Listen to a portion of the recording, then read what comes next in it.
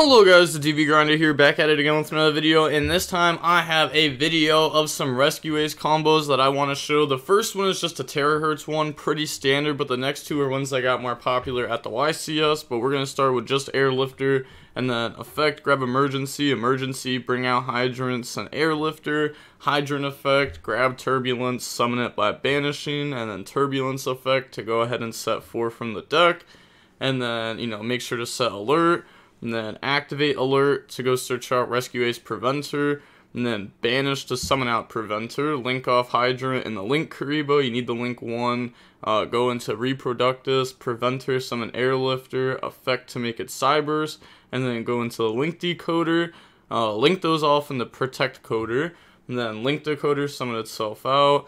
Link off in the firewall dragon. Banish for the protect coder which is why you need to have the link one in the graveyard um, so you have to go through the link Kuriboh first, and then firewall effect, add back preventer, and then link all those off in the terahertz, and then terahertz can dump for a spell trap negate, and then on their turn you have a dump for a hot red effect. So pretty good. Um, you can get to that with just engine, no bricks or anything like that in the main deck either, but it does take up a lot of extra X space. Next combo takes Airlifter plus any blank Rescue Ace monster uh, so normal airlifter, effect, grab emergency, emergency, summon hydrant, send uh, the fire attacker, hydrant, grab turbulence, summon turbulence by banishing, and then turbulence effect to go ahead and set four from the deck, and then you know once again including alert, activate alert, go ahead and grab out preventer, and then banish alert, summon preventer, use preventer plus turbulence to make puzzle, and then preventer summon back out and then you're going to use puzzle effect to make it level 4 and now you can go for the infernal flame banshee and this will detach to go search for a pyro monster. So grab out the nemesis flag and then this card if you don't know what it does you can target one of your banished monsters specialists from your hand and if you do shuffle that target into the deck.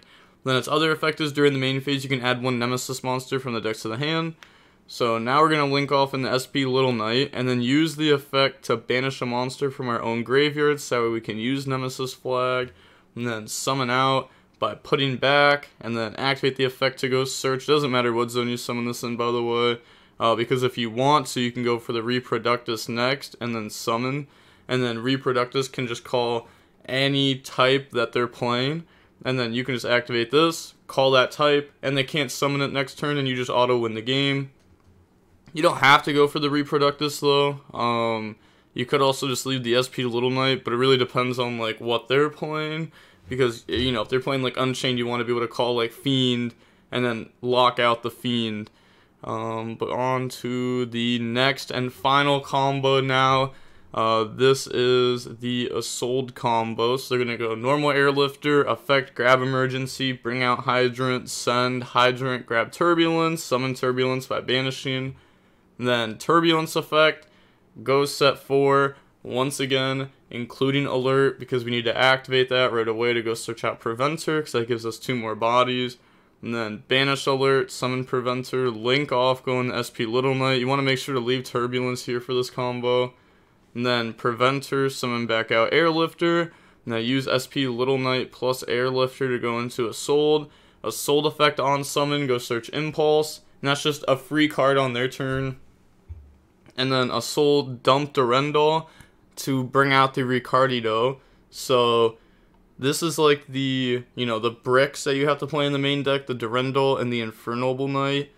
But it does let you play through a lot of hand traps. Uh, then you get the effect, summon back out Airlifter, and then Synchro up into Baron, which is why you need to leave Turbulence, and then go into another SP Little Knight. Uh, and that is it for that combo. Pretty good getting to end on Baron uh, making it so that way you don't lose to like random board breakers and stuff. But that is going to be it for the combo video. Just a very quick one, three combos. Uh, these are combos that you should know if you're playing in the metagame right now because you could end up seeing all of these combos. And with that being said, the DB Grinder signing off. Peace. Have a nice day. Stay safe.